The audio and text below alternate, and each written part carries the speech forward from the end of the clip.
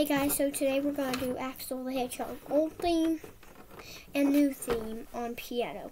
Come with me to Planet Hedgehog. Please be careful because there is a man coming after the hedgehog. Axel the Hedgehog. Axel the Hedgehog. Alright, now we're going to do the new theme. Come with me to Planet In the